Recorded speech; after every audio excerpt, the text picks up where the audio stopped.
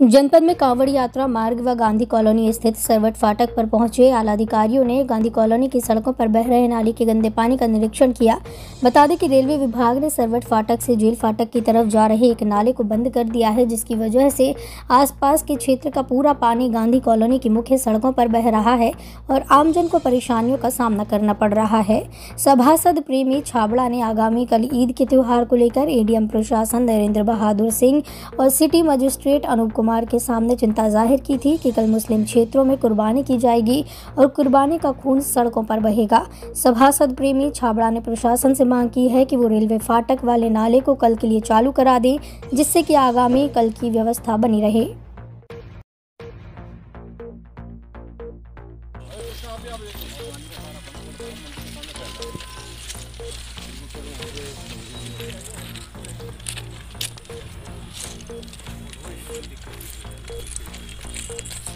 नज़र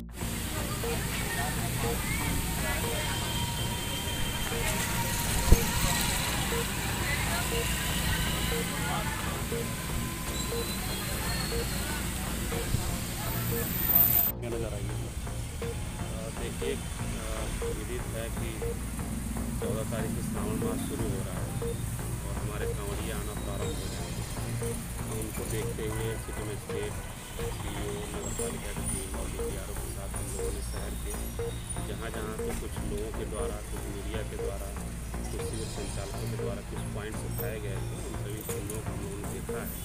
ज़्यादातर जगहों पे हम लोग काम ऑलमोस्ट पूरा कर चुके हैं कुछ बिंदुओं पे अभी काम होना शेष है तो उसमें हम लोग डी पी आर ओ और के माध्यम से टीम लगा कर एक से दो दिन में उस काम पूरा पूरी तैयारी कंप्लीट है पूरी तैयारी कंप्लीट है जिला पंचायत के माध्यम से डी पी कंट्रोल रूम की क्या स्थिति रही? कंट्रोल रूम हमारा मुख्य कंट्रोल रूम जो आई टी चौथी कलेक्ट्रेट में है, वहाँ बन रहा है। इसके अलावा सब कंट्रोल भी हमारे कई बनेंगे, जैसे कुटकाजी में बनेगा शिव चौक में बनेगा खतौली में बनेगा पटना और जानसर में हमारे सब कंट्रोल बनेंगे जितने भी हमारे शहर क्षेत्र में, चाहे ग्रामीण क्षेत्र में सी सी टी वी कैमरे हैं वो सब हम मॉनिटर कर सकेंगे अपने कंट्रोल अतिरिक्त वहाँ पे हर विभाग का एक अधिकारी भी रहेगा जो अपने विभाग से संबंधित समस्याओं को अपने कर्मचारी अधिकारियों को नियुक्त करा करके ससमय उसका कावड़ तीन साल बाद शुरू होने जा रही है तो प्रशासन कैसी तैयारी स्पेशल कर रहा है? कावड़े को समझ क्या कुछ खास रहेगा? देखिए, जैसा कि एक आम जो चर्चा है कि कांवड़िया पिछली बार से ज़्यादा आएँगे, क्योंकि दो साल गैप रहा है। उसको देखते हुए हम हल जितने भी हम लोगों के पास जो सड़कों की व्यवस्था थी तो उसको हम लोग ज़्यादा से ज़्यादा फ्री करने की कोशिश कर रहे हैं, ताकि अगर कोई भीड़ ज़्यादा भी आती है तो मोबिलाइजेशन में उनकी समस्या ना रहे। इसके अलावा बिजली पे भी हम लोग काम कर रहे हैं, बिजली विभाग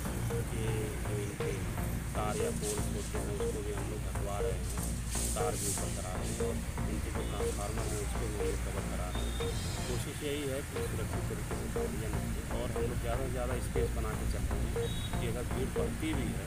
तो हम उनको मैनेज कर सकें और ट्रैफ़िक प्लान भी हम लोग पुलिस के साथ डिस्कस करके इसी तरह की प्लानिंग कर रहे हैं कि हर जगह साउंड को लेकर के? साउंड को लेकर के वही है जो माननीय उच्च न्यायालय के निर्देश है उसके अनुसार सभी को निर्देश दिए गए काम करें। इसी जगह प्रशासन ने फूलों की बरसात की थी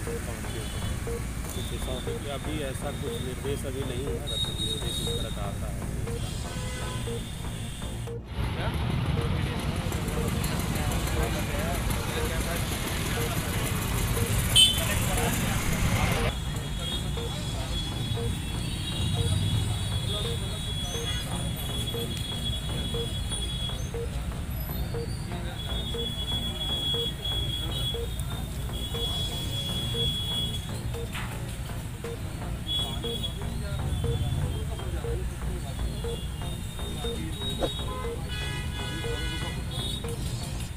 वीडियो को लाइक करें, शेयर करें और चैनल को सब्सक्राइब करें। खबरों के नोटिफिकेशन के लिए बेल आइकन दबाना न भूलें।